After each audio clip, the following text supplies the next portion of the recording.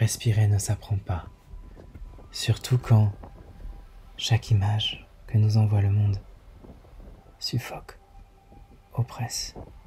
Non, respirer ne s'apprend pas. Alors, on pose les yeux sur les pierres comme on pose les armes, d'épuisement et de tristesse. Les pierres ne respirent pas et sont vivantes pourtant des tristesses qu'elles supportent. C'est l'énigme, c'est le secret et c'est l'image. C'est ce jour-là la forme que prenait la réalité pour abriter en elle les forces qu'il fallait pour ne pas lui céder. Alors, laissez aller le regard sur les contours des pierres que dessinait la matière brute, rêche et âpre, que seul possèdent les bords du monde et qui semblait plus désirable que la ligne faussement droite de l'horizon.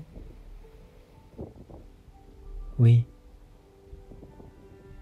la matière ici laissée seule, comme inerte, indifférente au vent, aux éclats, aux embruns, semblait plus désirable quand ici elle se laissait dévorer, tandis que dansaient autour d'elle les vagues, comme pour mieux désirer la désirer, traversant la surface du visible pour s'évanouir quelque part dans le brûlant et saccadé déplacement des choses qui vont mourir.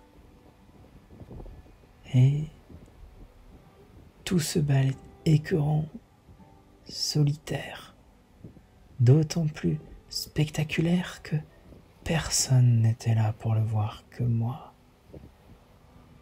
Venu ici, comme par hasard, voir le soleil tomber.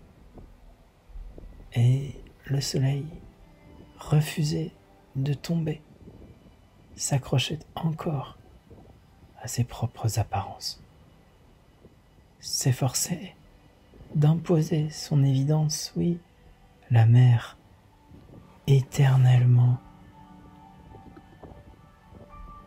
échouée, éternellement finissante. Ne cessez pas de vouloir recommencer à mourir. Et c'en était obscène. Tant j'étais seul. Que le monde, roulant sur lui-même, jusqu'à écraser mes semblables, s'effaçait, s'éloignait. Vague après vague,